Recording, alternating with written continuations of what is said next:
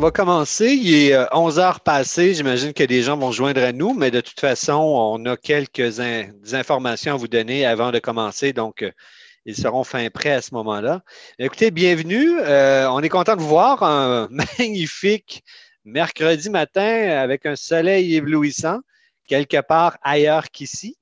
bienvenue à ce webinaire qui porte sur l'accord de Paris plus spécifiquement sur la responsabilité climatique et l'imputabilité des États. Donc, je vais commencer par me présenter. Mon nom est Patrick Rondeau. Je suis conseiller syndical à la Fédération des travailleurs et travailleuses du Québec, la FTQ. Euh, je suis conseiller environnement et transition juste. Et je prends la parole ici dans le cadre du collectif de la société civile pour la COP26, collectif qui a été formé en vue de la COP26 pour ramener des gens de la société civile à Glasgow, en Écosse, participer tout autant au sommet parallèle qui se tiendra qu'à la COP 26 pour ceux et celles qui auront des accréditations en bonne et due forme. Donc, ce collectif-là est constitué euh, naturellement de la FTQ, mais à la coordination, nous retrouvons aussi les YMCA, Oxfam Québec, l'ACOSI, SUCO, le Comité Solidarité Trois-Rivières, ainsi que le réseau Action climat. Donc, comme je le disais, ben, écoutez, ce, collectif-là vise à envoyer entre 50 et 100 personnes euh, à Glasgow à la COP26 et pour ce faire, ben, organise des sessions d'information, de formation, d'organisation donc, dans un premier temps, euh, COVID oblige, nous avons organisé euh, quatre webinaires au mois de juin dernier. Nous en organisons huit. Cette fois-ci, on est fou comme ça jusqu'en mars prochain. Et si la COVID le veut bien, nous pourrons reprendre des formations en personne pour les personnes inscrites au collectif euh, pour la prochaine année. D'ailleurs, Denis, si c'est possible de peut-être mettre les informations et euh, le formulaire que l'on retrouve sur la page du YMCA, si les gens veulent s'inscrire au collectif, ça serait grandement apprécié. Euh, Denis, étant Denis Côté de la COSI, euh, fidèle camarade qui nous accompagne, regardez comme il est beau. Donc voilà, merci Denis.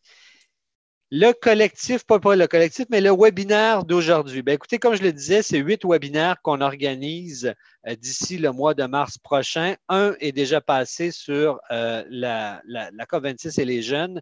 Trois autres sont à venir en collaboration avec Logique, les offices jeunesse euh, internationales du Québec, soit un sur la coopération internationale, un sur l'impact sur le travail et un sur les Autochtones, et quatre autres qui sont co-organisés par la FTQ et le réseau Action Climat, qui sont plus à saveur politique, soit celui d'aujourd'hui sur l'imputabilité et la responsabilité des États, mais on va en avoir un autre au mois de novembre qui va porter sur la situation climatique et politique au Canada.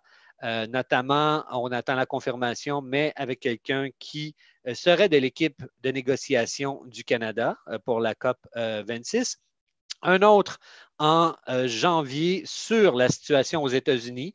On, on, pourra voir où nous en sommes avec quelle présidence aux États-Unis et quels en sont les impacts, notamment pour l'accord de Paris et sur la question du climat et de la politique et un autre en février sur euh, euh, tout ce que vous avez toujours voulu savoir sans jamais oser le demander sur la bourse du carbone, sur la finance climatique, etc. Donc voilà, sans plus tarder, notre sujet d'aujourd'hui, comme je le disais, responsabilité climatique, imputabilité des États. Donc, grosso modo, la question qu'on se pose tous, ça donne quoi? Donc, ça donne quoi un État de participer à OCOP et ça donne quoi à un État de ratifier un accord s'il ne le respecte pas? Sont-ils tenus de le respecter? Sont-ils imputables? Y a-t-il des euh, répercussions coercitives si jamais un État ne respecte pas euh, son engagement? Donc, pour ce faire, nous avons invité deux personnes, soit Caroline Brouillette, analyste des politiques, campagne domestique et communauté francophone au réseau Action Climat. Bonjour, Caroline. Bonjour. Bonjour. Et euh, le pétillant Eddie Perez, analyste des politiques internationales au réseau Action Climat. Donc, on commence avec toi, Eddie. Euh, au niveau international, on revient à toi par la suite, Caroline, plus spécifiquement au niveau canadien. Eddie, que peux-tu nous dire à ce sujet? Avant de commencer, excuse-moi, Eddie, j'avais oublié quelque chose d'important. Vous pouvez intervenir en tout temps si vous le désirez. Vous avez, si vous balayez l'écran, un QR, questions et réponses. Euh, donc, vous pouvez cliquer là-dessus. Si vous avez des questions en cours de route, on va les voir apparaître. Nos panélistes vont pouvoir y répondre. Sinon, à la fin des présentations, si vous avez des questions, on va ouvrir vos micros, comme ça vous pourrez intervenir. Je m'excuse, Eddie, je te laisse continuer. Non, ça va. Merci beaucoup, Pat. Euh, avant de commencer, euh, merci beaucoup à, la, coalition. Vous faites un incroyable travail. Très content que le réseau en fasse partie. Euh, d'abord, moi, je suis à Tiotiake, qui est communément connu comme Montréal. Euh, et puis, euh, on est en solidarité avec, euh, avec les peuples autochtones qui nous permettent en fait de vivre en harmonie en cette ville. puis, il faut aussi se rappeler l'importance de, comment la COVID a impacté nos vies, puis le fait qu'on soit confiné, puis qu'on fasse cet événement-là de façon virtuelle. ça a aussi impacté en fait la diplomatie climatique, puis la continuité de en matière de diplomatie climatique. Euh, moi, je vais, vous partager en fait euh, ma présentation, mais je ne vais pas la présenter parce que, ben parce que je vais faire une discussion, puis parce que l'information que je présente dans, les, dans les diapos, ben, c'est quand même assez dense, mais je veux quand même le présenter de la façon la plus simple possible. Puis je vais aussi répondre à vos questions là, si vous en avez euh, dans le chat euh, directement. Donc, euh, je vois qu'il y a déjà des gens qui cliquent dessus. Donc, moi, je vais commencer. Donc, d'abord, sur la question de la responsabilité climatique et imputabilité des États, il faut, quand même partir de la base sur, ce qu'est c'est les changements climatiques. Évidemment, si vous êtes ici, c'est parce que vous avez une conscientisation sur cette question-là. mais à la base, la, crise climatique est un enjeu complexe euh, qui s'explique par euh, les impacts ressentis, en fait, euh, de façon inégale, souvent très difficile à quantifier, à évaluer et même à attribuer. C'est difficile de dire, bon, mais toi, tel pays est responsable de cela. On a, on a des idées, on, a, on sait que ça fait partie de, de, de, tous les éléments en lien avec les gaz à effet de serre, mais l'attribution spécifique est quand même assez difficile quand on parle de la crise climatique. La crise climatique est également très complexe parce que euh, parce qu'elle représente en fait en, quelque en, quelque sorte un deuil. Euh, du moment où on a compris que euh, les États étaient incapables de répondre à la crise climatique de façon seule, ben, ils sont dit qu'ils devaient délaisser en quelque sorte leur pouvoir souverain d'agir euh, comme État pour résoudre un problème qui concernait les citoyens et communautés euh, que ces États-là euh, gèrent. Et donc, on, ces deux-là, ben, oui, il est, politique, il est démocratique, mais il est aussi économique, social, culturel, parce que les impacts de la crise climatique, eh bien, dépassent en fait euh, euh, notre compréhension sur euh, comment la, crise climatique nous affecte de façon quotidienne. Puis, vous avez vu aussi à quel point la COVID a dévoilé à, quel point une crise globale a amené avec elle d'autres types de conséquences. Donc, la façon d'un État pour répondre à la crise climatique, euh, le fait que euh, lorsqu'on n'est pas préparé en fait pour une crise climatique globale, eh bien, euh, on doit répondre rapidement, mais la réponse est souvent inadéquate. Et donc, ça nous parle à la fois en fait la COVID-19 de, sur comment est-ce qu'on peut atténuer pour réduire les impacts d'une crise globale, mais aussi qu'est-ce qui se passe si on n'est pas capable de s'adapter? Et donc, la COVID est un excellent parallèle, en fait, pour comprendre euh, à quel point une crise comme la crise climatique, qui est aussi globale, euh, ramène avec elle d'importants euh, éléments socio-économiques, juridiques, etc. Mais quand on parle d'accord de Paris, on parle d'entente. Et puis, euh, l'un des événements un peu, un, spectaculaires là, en matière de diplomatie climatique, c'est euh, les annonces, en fait, que des, grands États ont fait récemment en matière de la carboneutralité. On pense par exemple à la Chine, on pense par exemple à l'Union européenne aujourd'hui, le Japon, l'Afrique du Sud.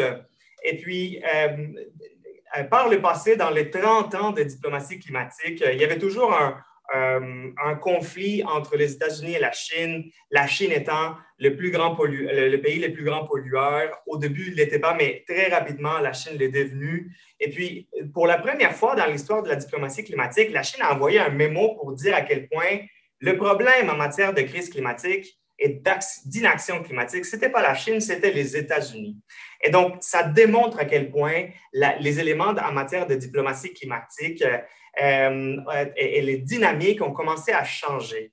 Euh, et puis, ça démontre aussi euh, à, quel point, quand on parle de leadership, le paradigme change aussi. Parce que normalement, on associait le leadership climatique aux pays du Nord, aux États-Unis, au Canada, qui avaient toujours une plus grande responsabilité. Eh bien, on voit que la Chine aujourd'hui, elle prend beaucoup plus de place, puis est capable de dire, en fait, à la communauté internationale à quel point le rôle que la Chine prend pour répondre à la crise climatique est bien beaucoup plus significatif que le rôle des États-Unis. Et donc, euh, il faut aussi tenir en considération que euh, depuis 30 ans, euh, on, a toujours essayé, en fait, de trouver, de s'entendre sur d'abord un, discours commun sur la crise climatique mondiale, un processus, une façon de faire, une structure, afin de gouverner la réponse globale à la crise climatique et, gouverner aussi euh, comment est-ce qu'on répond aux impacts qui sont rattachés. Et donc, ça démontre la complexité tant d'un point de vue subjectif, donc des croyances, croyances politiques, structures politiques démocratiques, mais aussi objectif au niveau des données scientifiques. Et donc, il y a toujours ce conflit-là, cet important conflit entre ce qu'on croit qu'on peut faire puis ce que la science nous dit qu'on peut faire. Et on a toujours été dans cette bulle-là euh, entre l'action que la science nous dit qu'il faut faire et la capacité, la faisabilité des États à agir. Et donc, ce conflit entre global et domestique a toujours fait partie, en fait, de la diplomatie climatique internationale. Je ne sais pas, il y a quelqu'un qui apparaît. Euh, et donc, à, l'intérieur de la diplomatie climatique internationale, on a toujours essayé de euh, créer des structures qui puissent répondre aux attentes de tous les États. Mais ça a été quand même assez difficile jusqu'à l'accord de Paris. Et je vais vous expliquer pourquoi euh, cela a été. La, première chose, c'est évidemment le fait que quand euh, la Convention cadre des Nations Unies a été créée en 1992 euh, et la première COP a eu lieu en 1995 à Berlin, les responsabilités et les obligations étaient directement adressés aux pays du Nord. Autrement dit, ceux qui ont contribué de façon historique euh, à, euh, à la crise climatique. Et donc, à l'intérieur de cette structure-là, on s'est entendu sur certains principes de coopération. J'irai plus loin là-dessus, mais ce qu'il faut comprendre, c'est qu'en même temps qu'on avait euh, adopté, créé la Convention cadre et qu'on avait commencé à réfléchir sur, par exemple, des, des, structures comme le protocole de Kyoto, on, savait aussi qu'à l'échelle domestique, auprès de, certains États, notamment l'Inde, la Chine, l'Afrique du Sud, le Brésil, euh, on voyait un développement économique euh, qui allait forcer en fait l'augmentation des gaz à effet de serre avec le temps.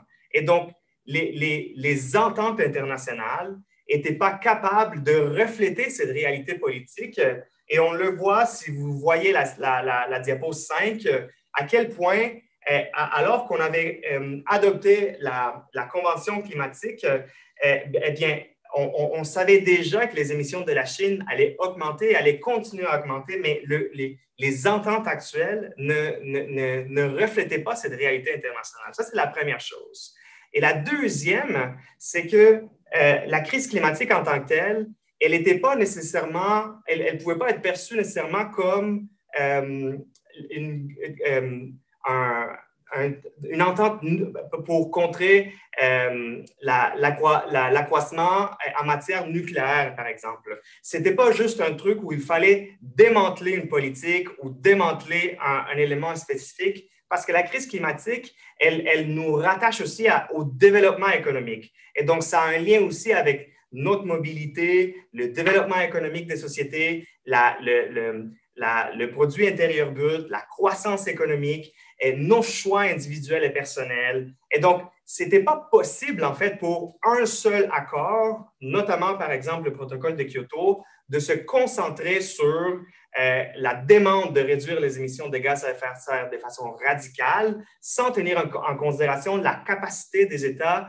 et la faisabilité, euh, tant d'un point de vue économique que d'un point de vue diplomatique. Et donc, c'est pour ça qu'on que, on a vu, par exemple, le fait que l'accord de Kyoto en 2007 n'a pas, pas vraiment réussi à, à 2007 à 2009, n'a pas vraiment réussi à atteindre euh, le consensus international. Et à un moment donné, certains États ont dit, nous, ça ne nous concerne plus parce qu'on ne croit plus en cette capacité-là de la communauté globale de répondre à la crise climatique. Il faut avoir quelque chose qui réponde non seulement aux éléments en matière d'atténuation, mais aussi aux éléments rattachés au développement économique, à l'adaptation. Puis on voyait aussi une demande des, États insulaires qui voulaient également parler des droits humains euh, qui voulait parler des droits euh, économiques et sociaux et, qui voulait avoir une plus grande participation à l'intérieur du régime climatique.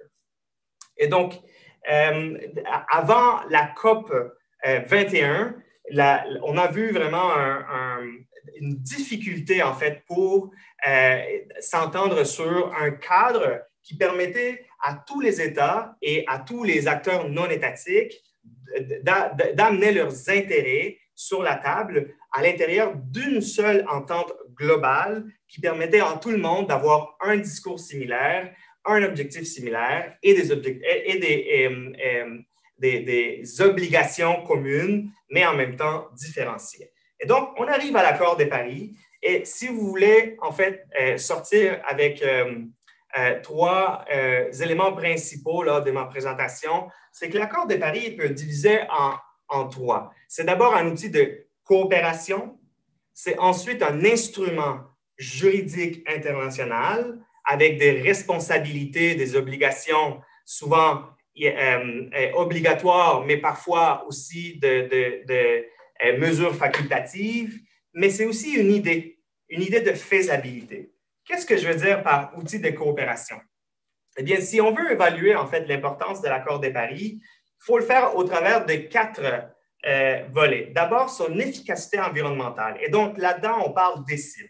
Donc, euh, à la différence de l'accord de Kyoto, l'accord de Paris comprend beaucoup plus d'émissions de gaz à effet de serre et ratisse un peu plus large. En fait, l'accord de Paris va au-delà de, ce qui a été possible de faire avec l'accord de Kyoto. Il touche même les émissions euh, en matière d'aviation et euh, euh, émissions venant de l'industrie maritime.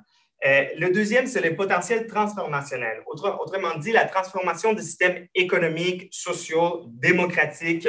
Et donc, comment il le fait? Eh bien, il permet à tous les États, en fait, de participer aux, discussions. Et l'accord de Paris donne des responsabilités à tous les États en tenant en considération, en fait, du contexte locale, euh, de, politique démocratique et la capacité euh, de, tous les États d'agir. Et donc, il y a une différence entre la responsabilité du Canada et la responsabilité du Pérou à, euh, respecter des engagements à l'intérieur de l'accord de Paris, mais tous les deux doivent le faire d'une certaine façon. Et comme les ententes internationales, eh bien, euh, la, responsabilisation à l'intérieur des ententes internationales se fait par l'engagement commun de tous les acteurs, eh bien, euh, l'accord de Paris a réussi donc à, faire en sorte que tous les participants puissent euh, avoir des obligations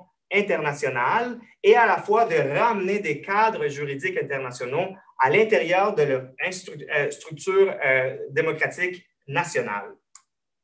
Et donc, euh, à l'intérieur de l'accord de Paris aussi, le, la troisième élément pour évaluer l'importance de l'accord de Paris, c'est sa capacité à intégrer l'équité et la distribution des responsabilités. Donc là-dedans, il faut revenir en fait au principe même de la Convention. La Convention cadre des Nations Unies, au départ, elle se, base autour de de, certains principes en matière d'action climatique internationale. Évidemment, le premier, c'est que si on, est tous capables d'agir communément, il y aura des coûts et bénéfices à l'action climatique à l'échelle globale. Et donc, si, le Canada, les États-Unis, l'Europe, l'Australie, si tout le monde agit ensemble, bien, on peut tous euh, euh, être capable d'avoir de, des bénéfices économiques et sociaux. Et puis, ces bénéfices-là peuvent être distribués à l'échelle des États. L'autre élément aussi, c'est que l'action doit se centrer autour de l'équité et la justice distributive. Et à cet égard, il y a tous les éléments de responsabilité commune et différenciée qui nous dit seulement que ben, il y a des États qui sont beaucoup plus responsables de la crise climatique que d'autres et qu'il y a des États qui ont plus de capacités d'agir que d'autres. Et en même temps, il y a des États qui euh, euh, ressentent davantage les impacts de la crise climatique alors qu'ils ont ils sont moins responsables de ces impacts-là. Et donc, à cet égard, euh, cet, élément d'équité, il est central depuis 1992. Le troisième principe de coopération, c'est qu'il y a un principe de précaution.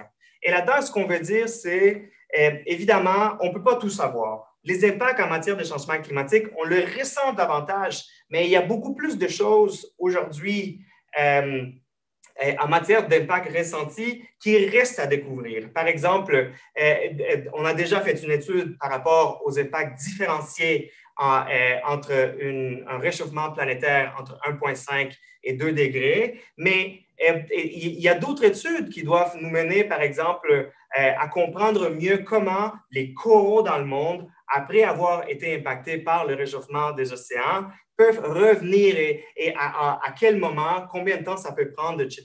Donc, il faut avoir ce principe-là de précaution. Et, finalement, le quatrième principe, c'est qu'on on respecte la, la, faisabilité des États euh, à l'échelle domestique. Autrement dit, si une entente internationale n'est pas faisable, si on ne peut pas la ramener à l'échelle domestique et, par exemple, présenter un projet de loi pour rendre les cibles obligatoires ou créer des plans domestiques, eh bien, ça ne sert à rien parce que la faisabilité est au cœur même, en fait, de la réussite de euh, plans climatiques euh, et des ententes internationales.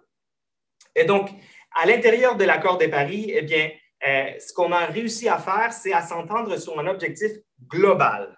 Et donc, il faut, faire une différence quand même assez claire entre objectif global et objectif domestique dans l'accord de Paris. C'est deux choses fondamentales. Autrement dit, à l'échelle globale, on s'est entendu qu'il faut limiter la hausse de température à 2 degrés Celsius et qu'il faut faire euh, le plus d'efforts possible pour le limiter à 1,5. Et puis, à côté, il y a les ententes domestique, individuelle, que chaque État se donne pour contribuer à l'effort global. Et donc là, on peut parler, par exemple, de l'engagement du Canada, de l'engagement des États-Unis, de la Chine, etc. Puis on s'est rendu compte qu'il y avait une distance entre les objectifs globaux qu'on s'est donnés puis les objectifs domestiques. Et c'est là-dessus que je trouve, en fait, l'importance de l'accord de Paris parce que ces mécanismes, les mécanismes que l'accord de Paris a créés, servent en fait à, diminuer cet écart-là entre les objectifs individuels et l'objectif collectif qu'on s'est donné. Et donc, à l'intérieur de l'article euh, de, l'accord de Paris, évidemment, comme je l'ai dit tantôt, à, différents, à, différence du protocole de Kyoto, dépasse en fait euh, le, mandat large de, du protocole de Kyoto et parle de l'atténuation. Et donc, les États doivent chaque cinq ans présenter euh, des plans climatiques afin d'atténuer de contribuer à l'effort d'atténuation globale. Le Canada est en train de réviser son plan climatique en ce moment. Ça fait partie du processus. C'est un truc domestique euh, qui doit se faire, mais le Canada doit communiquer cette information-là à l'échelle globale. Euh, mais ça, va, ça passe euh, aussi en matière d'adaptation, parce que le protocole de Kyoto n'avait pas, en fait, de, n'avait pas de, politique claire en matière d'adaptation, alors que l'accord de Paris présente et demande aux États d'adhérer à un objectif mondial en matière d'adaptation, ce qui est essentiel parce que ça touche à, comment le développement social et économique, notamment des pays du Sud, se fait alors que ces pays-là essayent en fait de, répondre aux impacts euh, des changements climatiques et c'était notamment très important pour ces États-là qui dépendent en fait euh, de d'autres accords, notamment les objectifs en matière de développement durable et, les autres ententes internationales. Mais l'accord de Paris présente aussi tous les éléments en matière de support, support économique, qui était nécessaire pour que certains États puissent non seulement implanter les plans climatiques à l'échelle domestique, mais aussi pour que euh, euh, l'aide internationale puisse avoir un volet climatique. Et donc, le Canada aussi s'est engagé à octroyer de l'argent aux pays en développement, le fait toujours, mais l'objectif étant de, créer des liens, en fait, de connecter le lien entre la solidarité internationale et l'importance de l'action climatique. Mais il y a aussi un élément fondamental de l'accord de Paris, c'est le cadre, le cadre de transparence. Et dans le cadre de transparence, ça, c'est des obligations. Autrement dit, tout signataire de l'accord de Paris doit euh, présenter des rapports chaque deux ans sur l'avancement de son plan climatique à l'échelle domestique. Et à l'intérieur de cela, l'élément euh, euh, qui, connecte la, contribution du plan climatique domestique, le cadre de transparence, donc les rapports et, l'analyse globale, c'est le bilan mondial qui se fait chaque cinq ans, qui résume en fait tout ce que euh, les États ont, essayé de faire et qui, résulte en fait en une analyse collective des engagements climatiques internationaux.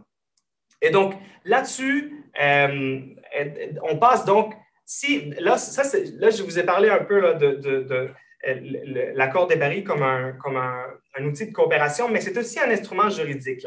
Autrement dit, euh, à l'intérieur de, l'accord de Paris, l'instrument actuel, c'est ce qu'on appelle un instrument hybride. Autrement dit, euh, il y a des responsabilités, des, responsabilités, obligatoires comme celles qui sont liées à la communication en matière de transparence, mais il y a aussi euh, la, la, reconnaissance que euh, c'est parfois difficile de punir un État pour des actions qu'il n'est pas capable de faire. Et donc, comme l'accord de Paris comprend en fait l'action de tous les pays signataires, dans ce cas-ci plus de 190. Euh, et, puis, les, États doivent communiquer en matière d'atténuation, d'adaptation, de support, etc. Euh, les, éléments punitifs ont été mis de côté euh, pour faire une évolution sur la diplomatie. En anglais, on appelle ça le nudging. Donc, la motivation diplomatique, puis, puis une course euh, entre qui, était le premier à agir sur le climat. Et donc, cette course-là du, premier, euh, euh, du premier ben, on le voit aujourd'hui avec, avec les annonces par rapport à la carboneutralité. On voit la Chine qui va en premier, après on voit l'Afrique du Sud. Et, et, et c'est ce genre de mécanisme d'ambition que, que, le, que l'accord de Paris met de l'avant. Et, à l'intérieur de l'accord de Paris, ben, ben, les responsabilités, elles évoluent. Et donc, il y avait l'accord en soi et après, il y avait l'adoption de ces règles. Et aujourd'hui, on est en train de réfléchir au bilan mondial. Et donc, c'est là-dessus, en fait, que la responsabilisation des États se fait entre euh, l'engagement des États euh, et, et, la capacité, en fait, de la Convention cadre de coordonner toutes ces actions-là autour de mon troisième point, est le point final qui me permet de conclure sur l'idée que l'accord de, Paris, c'est l'accord du, du, possible. C'est possible de limiter la hausse de température et qu'il faut maintenir en fait ce momentum sur la capacité de la communauté internationale d'agir sur le climat. Et c'est ça l'élément central, euh, parce que c'est là-dessus qu'on, euh, c'est là-dessus que les, débats internationaux ont tourné autour pendant 30 ans. C'est l'accord des Paris, en fait, c'est juste la traduction d'une capacité d'avoir un discours qui permet à tous les États de se dire, si on travaille ensemble, on peut y arriver. Et dans cette idée du possible, eh bien, il y a évidemment la contrainte. La première, c'est le temps. Et donc, là-dedans, le temps, c'est le temps de, l'action climatique possible qu'on a euh, entre aujourd'hui et 2030, par exemple, mais aujourd'hui à 2100. Et l'autre élément là-dedans, c'est l'autre euh, contrainte, c'est les impacts ressentis. Donc, on peut les analyser, mais parfois, on les analyse une fois qu'on les a ressentie. Puis le troisième et le plus important pour moi, c'est la justice climatique. Parce que l'accord de Paris en soi, c'est le premier accord euh, euh, international environnemental qui inclut un volet très direct sur la justice climatique, sur les droits humains, droits de la personne, et qui, dans le préambule, euh, dépasse en fait l'élément de responsabilisation mondiale vers un élément de responsabilisation euh, qui, va au-delà des États et qui touche tous les secteurs de la société. Aujourd'hui, par exemple, Patrick Rondeau, qui représente les travailleurs, a une responsabilité euh, très importante de faire avancer en fait les intérêts des travailleurs à l'intérieur des négociations, tout autant que d'autres participants euh, à l'intérieur du régime climatique. Et donc, dans le, puis pour, mon point sur la conclusion là-dedans, c'est que la coopération climatique internationale aujourd'hui, elle se base pas sur comment l'accord de Paris peut être atteint, mais sur différents types de coopération climatique, tant à l'échelle régionale, sectorielle, scientifique, bilatérale, entre pays du Sud, entre d'autres régimes, entre le, euh, développement international, santé, entre le secteur privé, entre le secteur public, mais surtout entre la société civile. Et, surtout, euh, l'élément principal, c'est que la société civile là-dedans, euh, ce qu'elle fait, c'est qu'elle met de la pression pour que les États puissent euh, se rappeler des objectifs qu'ils se sont donnés. Et sans cette pression-là, il n'y a pas d'ambition en matière de diplomatie climatique internationale. Et c'est ça l'élément central de l'accord de Paris, c'est qu'il reconnaît que ces limites diplomatiques existent, mais il donne des outils pour que d'autres acteurs, outre les États, puissent agir pour rappeler aux pays de leur responsabilité climatique internationale. Merci, Pat. Merci beaucoup, Eddie. Extrêmement intéressant, euh, d'une pertinence comme on s'y en attendait. Bravo, merci beaucoup. Maintenant, euh, chère Caroline, à toi, euh, maintenant qu'on a vu au niveau international les impacts et les ramifications de l'accord de Paris, euh, qu'en est-il spécifiquement pour notre, euh, notre, notre, notre, notre nation à nous, mais là où on a les pieds qui sont en territoire non cédé, comme il l'a bien dit, mais euh, où nous sommes. Donc, quels sont les impacts pour le Canada? Oui, ben merci Patrick, merci Eddie. Toujours un, défi de parler après toi avec ton énergie et ton intelligence débordante. Euh, donc, moi aussi, je me joins à vous euh, du territoire Ganyan-Gehaga non cédé euh, à Tiotiake, mieux connu sous le nom de Montréal. J'ai mis mes diapos dans le chat, un peu comme Eddie avait fait.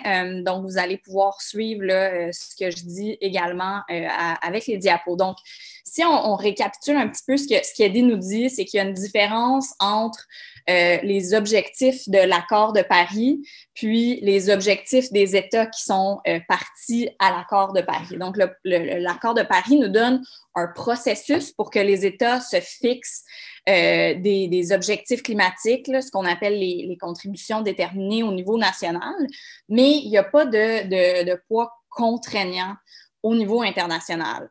Euh, donc, il en découle que pour atteindre euh, les objectifs de l'accord de Paris, mais d'un point de vue domestique, on doit se doter euh, de mécanismes qui sont, eux, légalement contraignants. C'est ce qu'ont fait plusieurs pays dans le monde, puisque ce dont je vais vous parler ce matin, qui est un mécanisme, donc une loi de responsabilité climatique. Euh, donc, on sait qu'il reste très peu de place euh, dans, le, dans le budget de carbone mondial. Et euh, si on se déplace à la diapo 3, ben, le Canada a quand même une, une, responsabilité importante dans la crise climatique. Je vais en parler un peu tantôt. Mais à chaque fois qu'on s'est fixé des objectifs climatiques, on les a manqués. donc là, on, on voit les exemples de 2000, 2012, 2020. Euh, mais il y avait d'autres cibles auparavant, donc je pense que c'est cinq cibles au total qu'on s'est fixées et qu'on a manquées. Euh, puis en ce moment, on n'est est malheureusement pas en voie non plus d'atteindre notre cible actuelle euh, de 2030. Euh, pourtant, euh, puis là, je, me déplace à la diapo 5, euh, on, sait que la cible actuelle ne représente pas la juste part du Canada à l'effort mondial de restreindre l'augmentation de température à 1,5 degrés Celsius.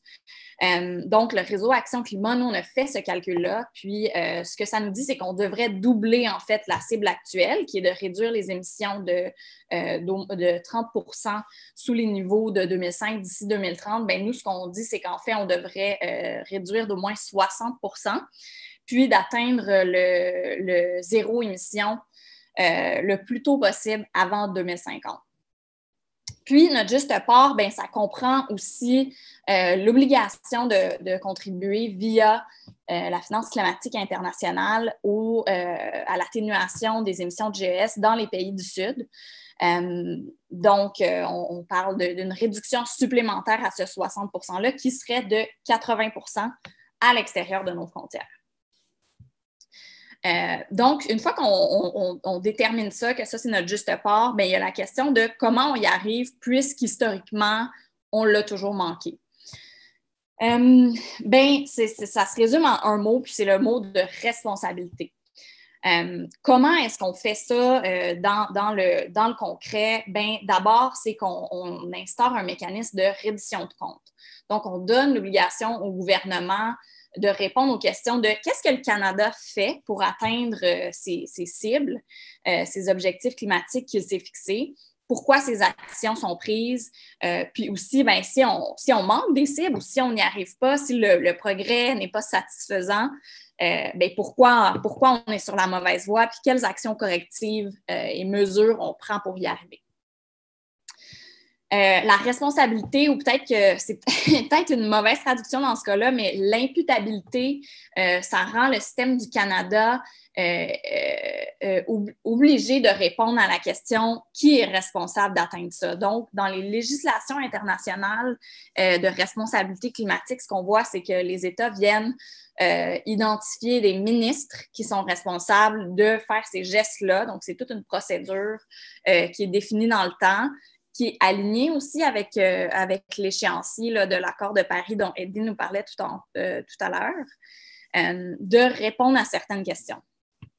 Puis finalement, ben, il faut que ça, ait une force exécutoire, donc que ça soit vraiment dans la loi, que ça soit contraignant et qu'il y ait des conséquences si on échoue à atteindre nos buts.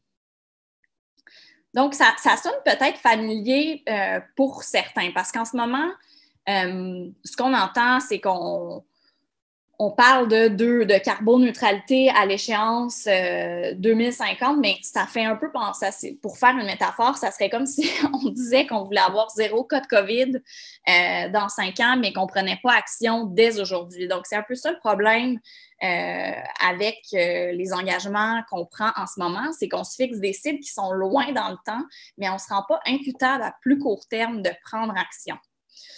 Euh, donc, notre réponse à la crise climatique est similairement là, à, notre réponse à la crise sanitaire, ça dépend de notre capacité à mesurer les effets de ce qu'on ce qu'on fait collectivement en place pour pour la combattre, mais ça dès maintenant. Donc, écouter les experts, se fixer des objectifs et des échéanciers clairs, tester, mesurer et évaluer notre progrès euh, envers l'atteinte de ces objectifs-là, nous, établir un plan d'action et l'exécuter, puis euh, recalibrer ce plan-là souvent euh, de façon itérative.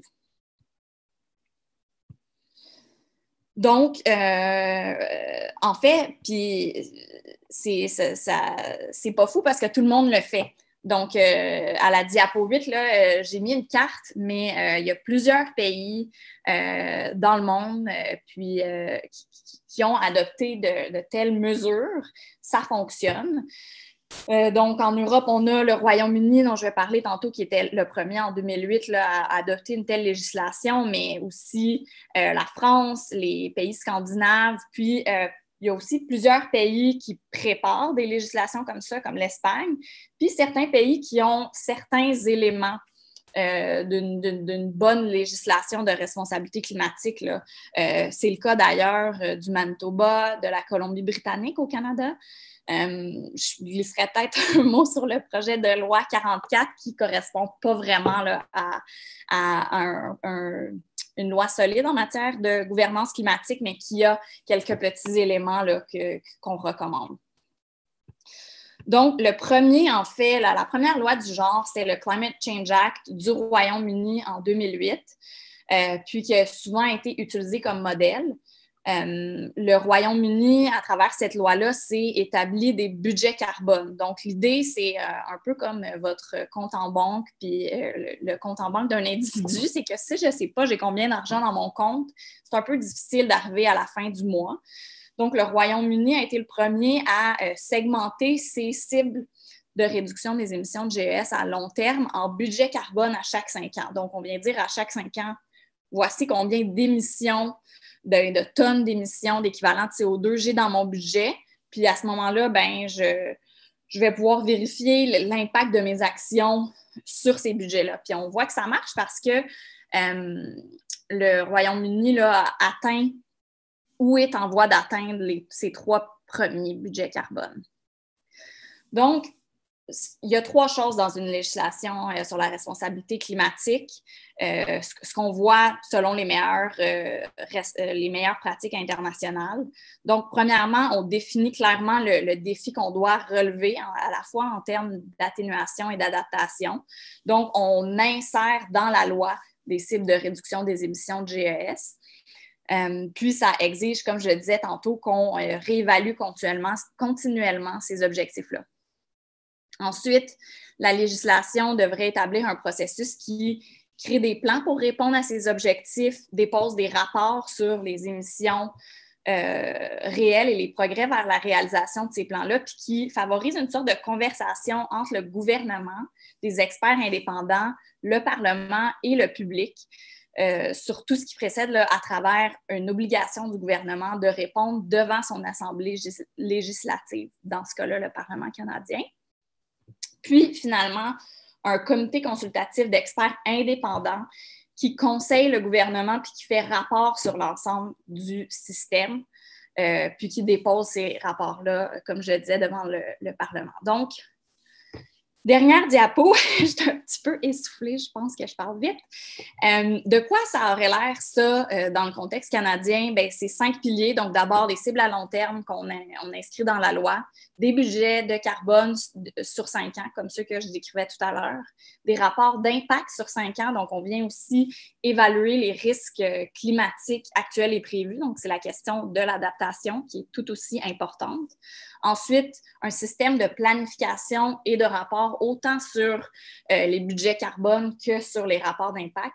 Puis finalement, un comité d'experts indépendants euh, qui avise le gouvernement. Donc, pour conclure, euh, je dirais juste que le gouvernement Trudeau s'est engagé à Madrid à légiférer en ce sens. C'est quelque chose qui a réitéré au sein du discours du trône. Euh, le réseau Action Climat et euh, nos alliés là, qui travaillent sur ce dossier-là, donc EcoJustice, West Coast Environmental Law, Équiterre, Environmental Defense et Pembina.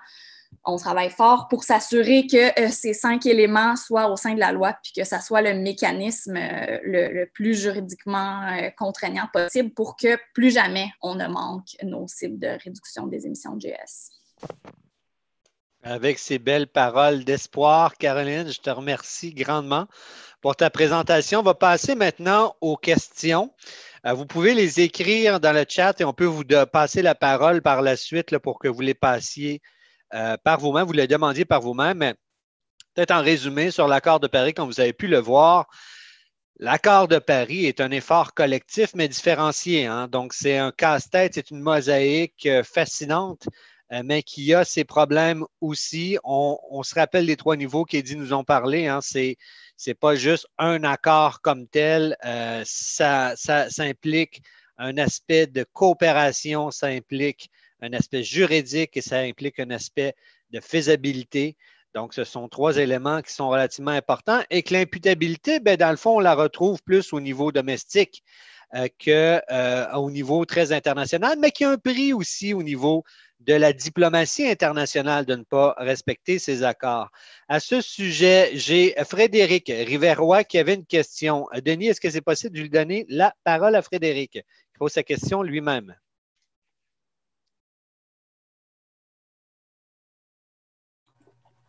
Bonjour, est-ce que vous m'entendez? On t'entend, Frédéric. Bon. Ben, content de. Merci beaucoup pour la présentation. Euh, Eddie, euh, je tiens à saluer parce qu'on a fait le Parlement jeunesse ensemble. Euh, je me demandais donc à quoi est-ce qu'on peut s'attendre en matière de renforcement des, des obligations contraignantes à Glasgow? Qu'est-ce qui exactement on attend de, cette COP26-là? Puis, bon, on voit que certains pays ont rendu leur, leur cible nationale contraignante au niveau domestique. Est-ce que c'est quelque chose qui serait envisageable pour le Canada, ou du moins hors de l'Union européenne, puis, euh, ou même au niveau international? Je veux dire, c'est qui? Parce que là, vous parlez beaucoup de coopération, mais est-ce qu'il y a une, instance de coordination au niveau international, plutôt que de juste chacun fonctionner dans un principe de coexistence de nos cibles nationales?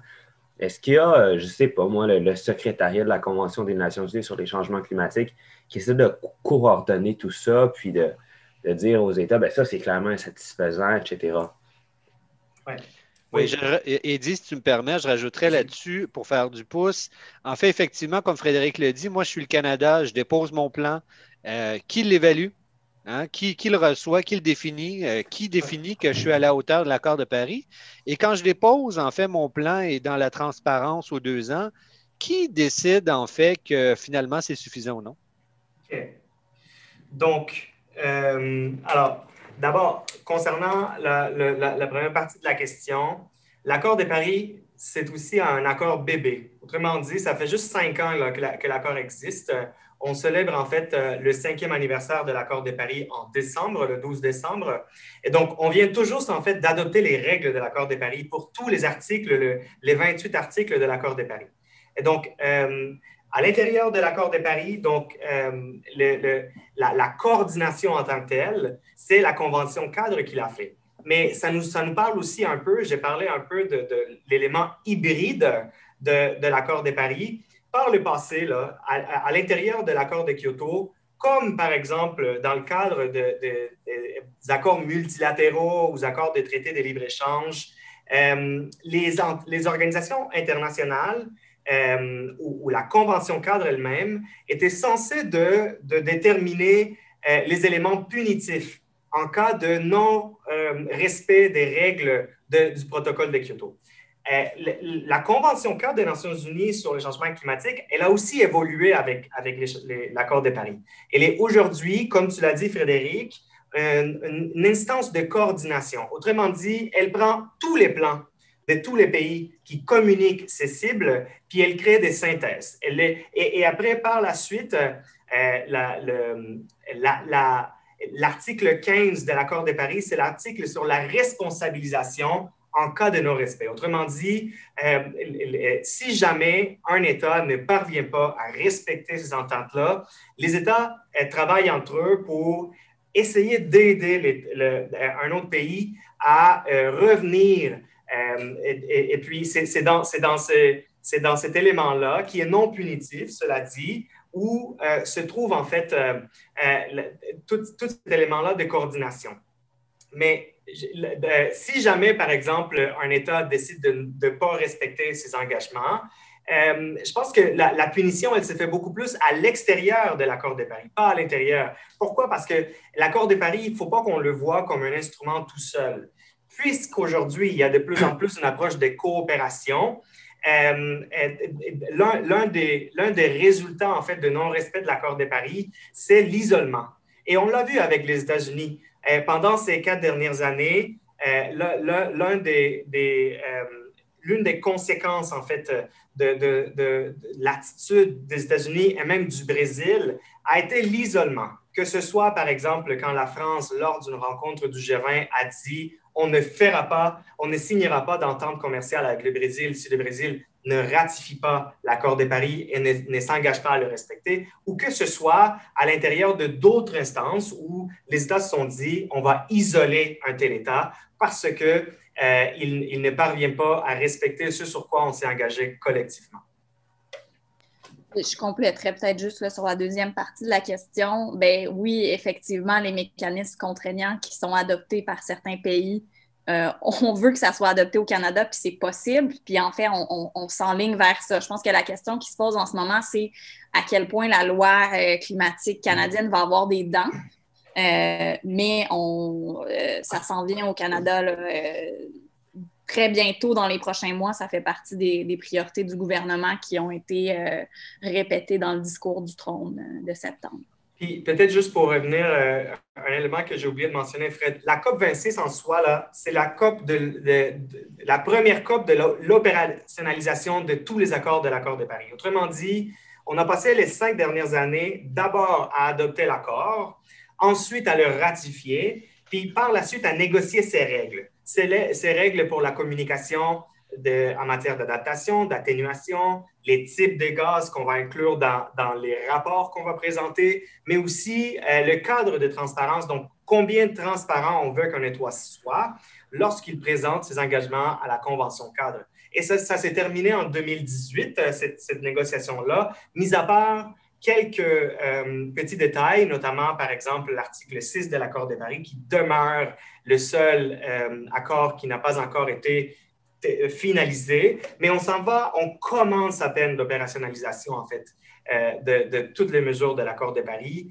après cette COP 26-là, où tous les États devront amener une communication nationale. Et avant la COP, euh, cela étant dit, et la convention, elle, qui coordonne toute cette information-là, va présenter une synthèse de tous ces plans-là. Et là, il y a un débat à l'interne de la convention, à savoir si on peut faire euh, euh, une addition de tous les, engagements afin de voir à quel point on, se rapproche des objectifs globaux de l'accord de Paris ou on s'éloigne de ceux-ci. Donc, c'est ça qui va se passer à la COP 26. Ça va être la COP, en fait, de la communication des nouveaux plans climatiques domestiques.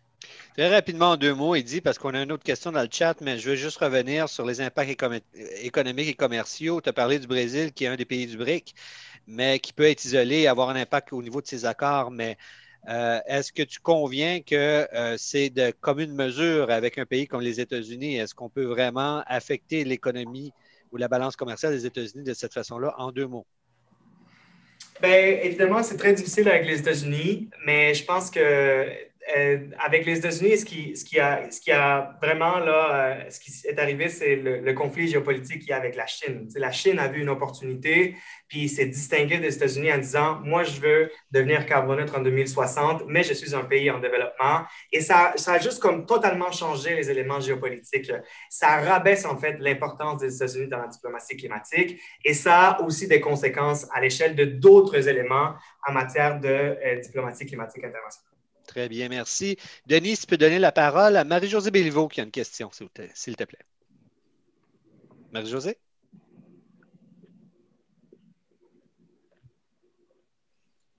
Oui, allô. Euh, merci pour euh, ces, très intéressantes informations. J'apprends beaucoup avec vous aujourd'hui. Euh, je ne sais pas si ma question est valide ou bien formulée. Mais j'aimerais savoir, euh, concernant euh, ces accords, c'est quoi les responsabilités que le Canada a et aussi euh, le Québec? Lorsque l'on voit des projets comme GNL Québec qui poursuivent la course en avant des énergies fossiles et où l'ensemble des impacts du projet ne sont pas pris en compte? Oui, merci beaucoup pour la question, Marc-Josée. En fait, c'est une question assez complexe. Puis pour la petite histoire, le réseau Action Climat, on dépose un mémoire euh, au BAP avec une, réponse plus détaillée, mais dans les quelques minutes que, que j'ai, euh, je dirais peut-être que, ben, c'est ça. D'abord, euh, l'accord de Paris a été évoqué par le promoteur comme justification. le promoteur nous a dit, ben, étant donné que pratiquement tous les États du monde ont signé l'accord de Paris, les marchés qu'on vise vont nécessairement être partis à l'accord de Paris, donc on est correct.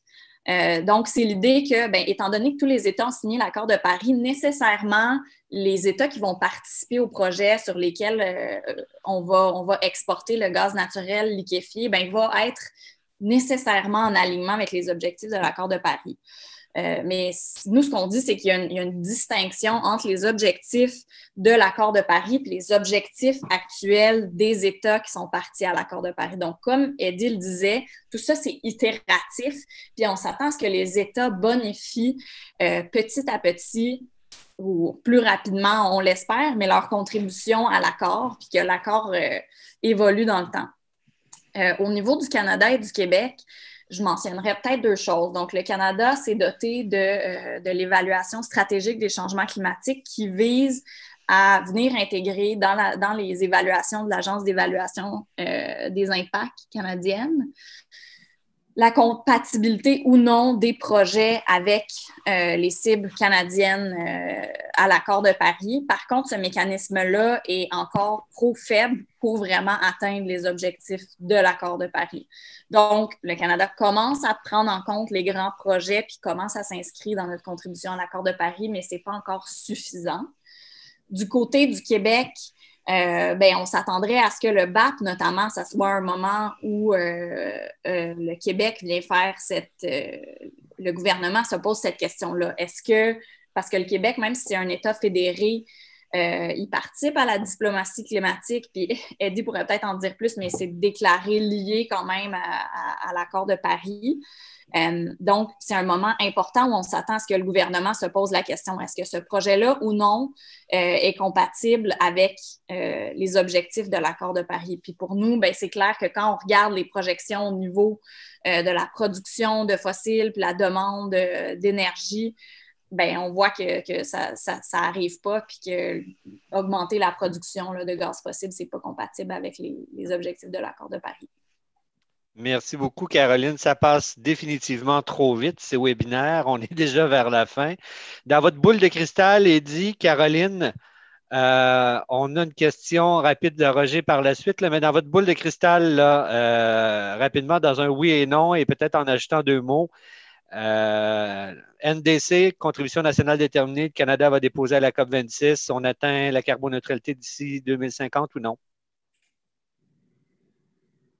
Peux-tu répéter la question? Dans ta boule de cristal, le Canada va devoir déposer ses contributions nationales déterminées à la COP26. On atteint la carboneutralité en 2050 avec ça ou non? Ben, c'est tout un processus. Euh, je pense qu'ils vont présenter un plan beaucoup plus ambitieux. Puis je pense que le, le, fait que les plus grandes économies du G20 présentent aussi un plan, ça va faire que les modélisations, en fait, vont, vont évoluer. Peut-être répondons à la question lorsque le Canada va présenter son plan, parce qu'on aura des détails là-dessus. Mais j'ai vu une question dans la question-réponse, je dirais, sans pression des mouvements sociaux, non, l'accord de Paris ne pourra pas euh, augmenter son ambition. Il faut de la pression sociale, en fait, pour que l'accord de Paris soit plus ambitieux. Donc, Caroline, dans ta boule de cristal, et effectivement, pour la question de Roger euh, qui nous a posé au niveau des mouvements sociaux, en guise de conclusion? Je, vais m'appuyer sur ce que disait Eddie pour la, carboneutralité, mais pour répondre à la, question de Roger, moi, je pense que la mobilisation sociale est essentielle. Puis, en tant que citoyen, la démocratie ne s'exerce pas juste aux urnes. Il n'y a pas de politicien parfait, il n'y a pas de, mécanisme qui est parfait. Donc, il faut continuer à se mobiliser en tant que mouvement euh, pour mettre la pression vers le haut. Merci beaucoup, Caroline et Eddie. On a une question encore dans le chat, mais malheureusement, on est rendu à midi. Euh, ma question était, la question était quelle est la part de l'Afrique dans tout ça? Ben, Eddie, je crois qu'il a répondu. Tout le monde a une responsabilité euh, commune, mais différenciée. Donc, tous les pays ont une responsabilité, mais ceux du Nord plus particulièrement parce qu'ils ont un impact sur ceux du Sud. Euh, ça va de soi. Donc, ça passe par la faisabilité, entre autres. Euh, on pourrait y revenir parce qu'on a plusieurs autres webinaires à venir. Donc, je vous invite à y participer. Merci beaucoup, Eddie et Caroline. on termine bien, dans le fond, Roger, avec la question sur les mouvements sociaux, puisque euh, le collectif est né pour répondre à cela. Donc, euh, on essaie de mobiliser la société civile qui a un rôle indéniable à jouer. Je le vois, moi, depuis 2015 en participant au COP. Ça a un pouvoir, effectivement, de pression sur les États euh, qui veulent bien paraître quand ils sont sur les feux de la rampe à l'international. Donc, quand leur société civile les accompagne et, et dit le contraire de ce qu'ils disent, ça a un impact. Donc, c'est important de maintenir cette pression-là. En terminant, juste vous dire qu'on a deux webinaires qui s'en viennent pour le mois de novembre, soit un le 18 novembre, organisé, co-organisé encore une fois par la FTQ et le réseau Action Climat qui va porter sur justement spécifiquement la question canadienne avec, nous attendons la confirmation, mais quelqu'un de l'équipe de négociation canadienne au COP. Et le 24 novembre, euh, ça va être à midi pour le 18 novembre, soit dit en passant. Euh, et pour le 24 novembre, on en a un autre organisé par les offices jeunesse euh, de, du Québec et le collectif qui portera sur le monde du travail sous la pression des changements climatiques. Donc, je vous remercie et on se revoit très bientôt. Merci, au revoir.